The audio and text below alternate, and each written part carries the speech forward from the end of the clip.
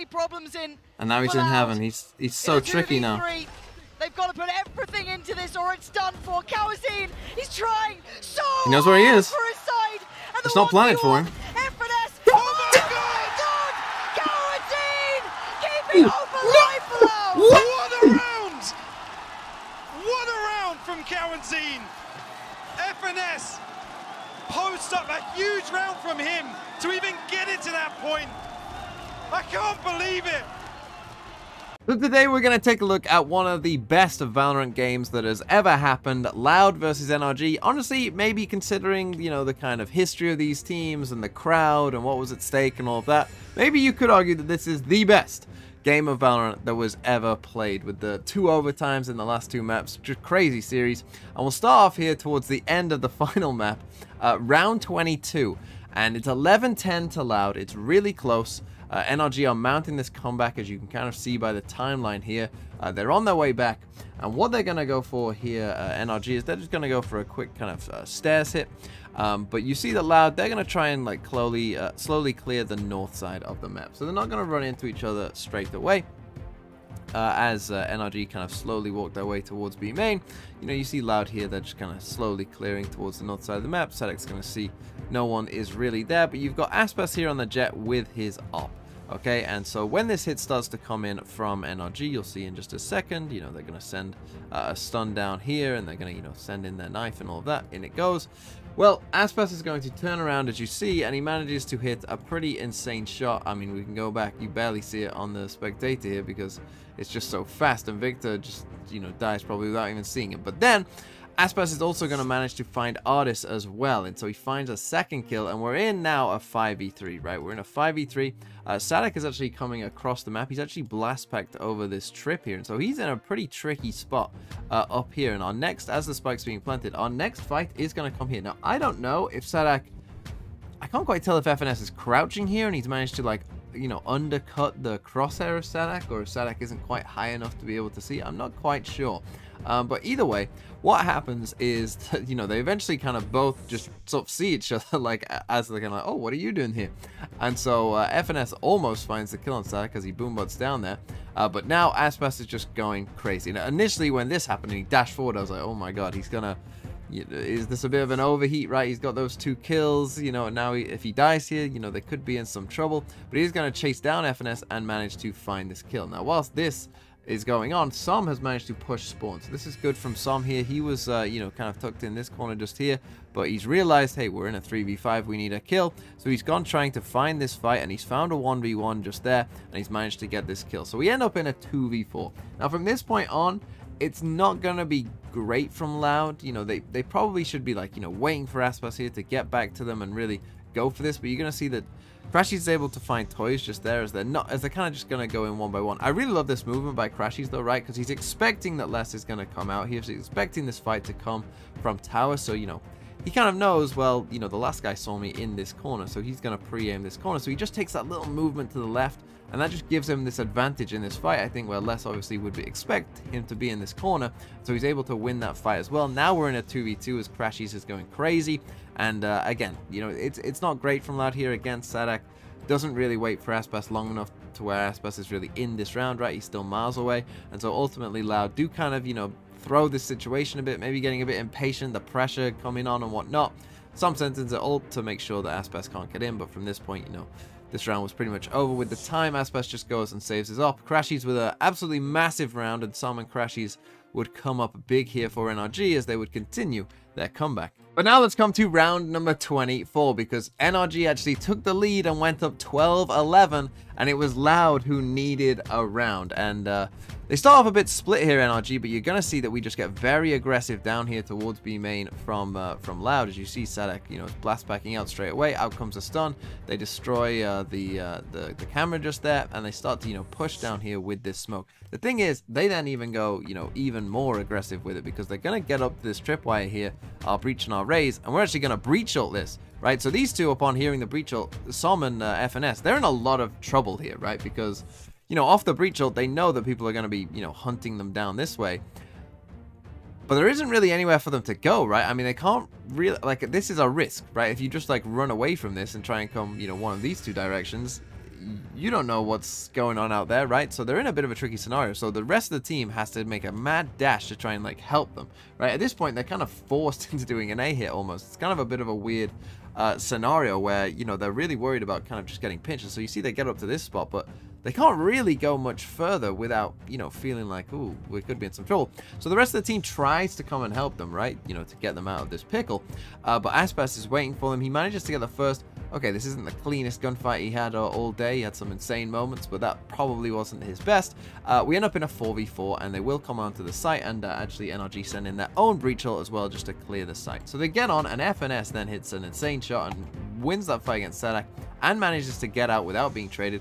Tuyz, I think, finds this kill. This is actually Less, but I think Tuyz finds this kill, or either spamming or, or whatnot, uh, through the smoke, and uh, Crashies full. So we end up in a 3v3, okay?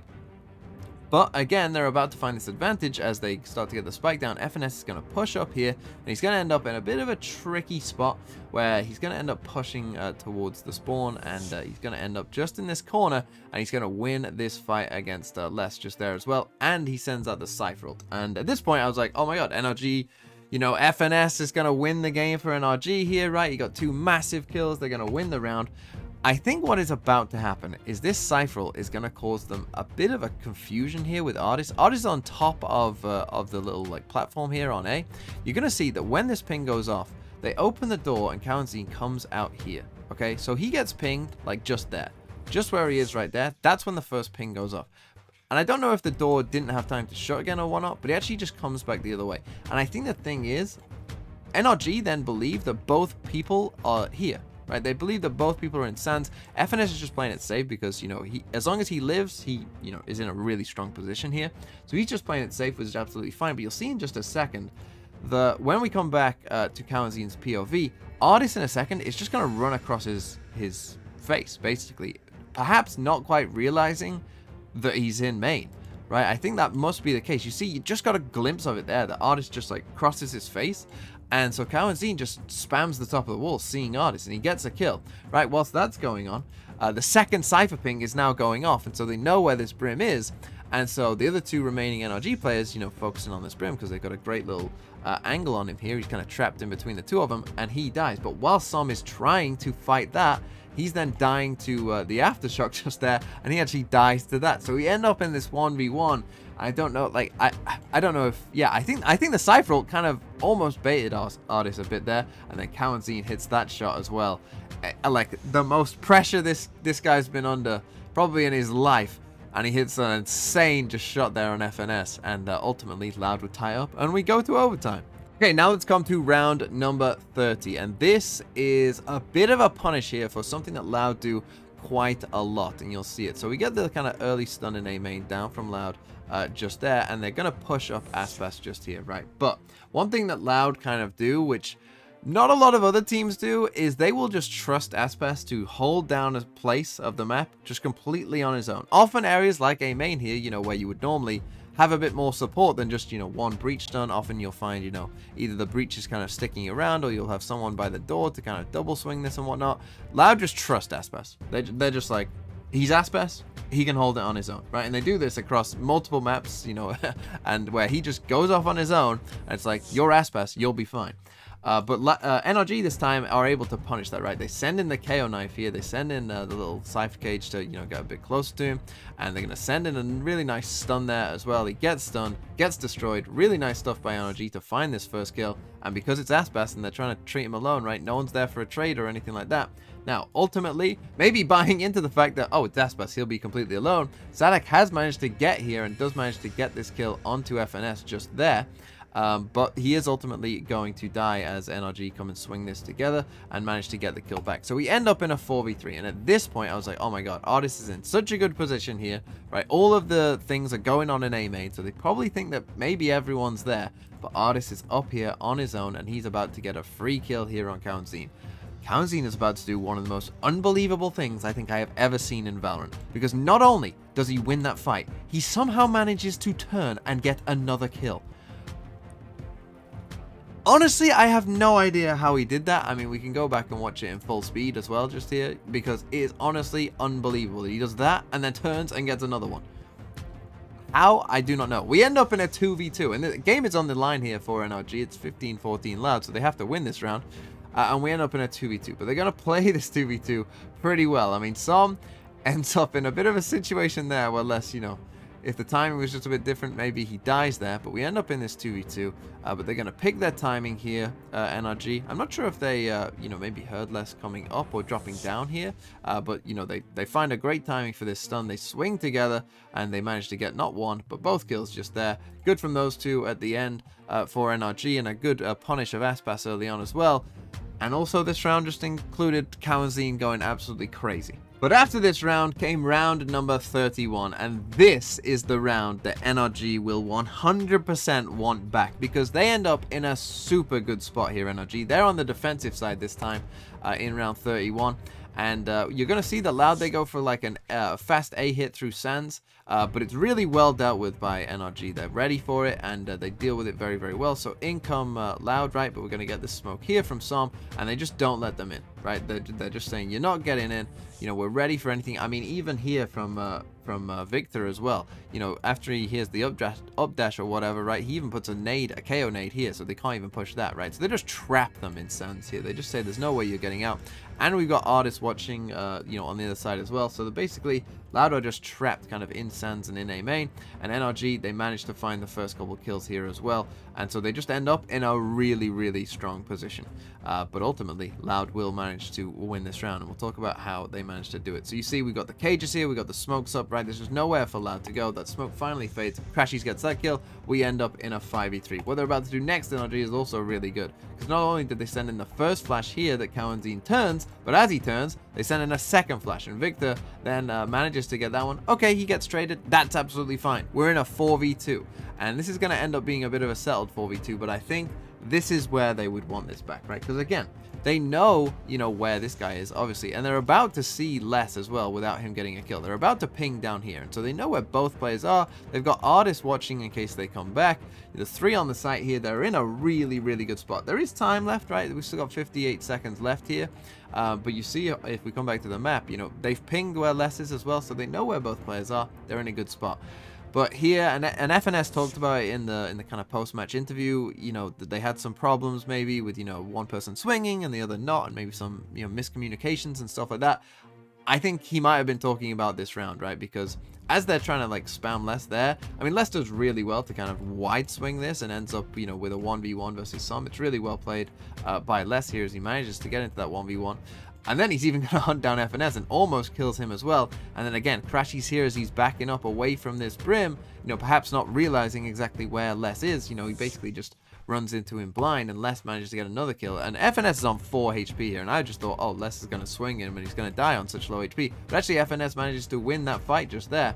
And so we end up in a 2v1 again. So even though it wasn't perfect from them here NRG, you know, they still ended up in a good scenario where it's a, a 2v1. Uh, they don't quite know where uh, uh, their last uh, loud player is here, but, you know, they, they have a decent idea. And you even see Ardiis, you know, getting ready, and, and we're just playing safe and kind of seeing where he's going. You know, we're backing out here for FNS, and he is going towards this B site. So he's about to hit one of the most insane shots in Valorant history because he taps the spike, and right here you think, oh, this is over, right? No chance. 0% chance of this one. And he manages to hit that shot. Just straight away. And now it's a 1v1. And I mean, that is an insane shot to hit at that time against an op. Like, you can't miss.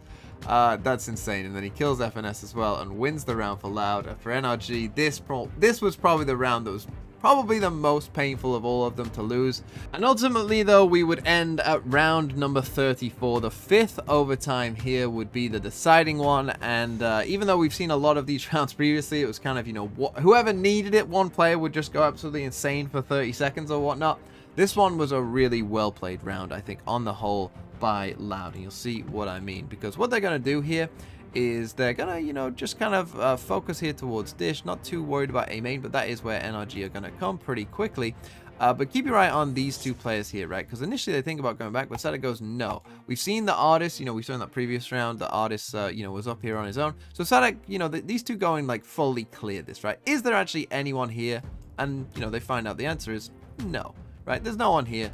Uh, so they get that control, right? And so also we've got Aspas updrafting over this Cypher trip, and so now he's behind them, right? And so Loud are in a pretty good spot here, but these two are going to play it really well as well, because these two know, okay, we've got Aspas getting the control here, we've got the control up here, so, you know, if all of NRG are trapped in there, you know, that means that they might push us, right? And, and this is something that, you know, teams have to be very aware of. You know, if a team only has very little space, they might come and try and, you know, push you for more space later on. And you'll see that's exactly what happens. But look, we, we're disciplined here, right? We're not going too fast.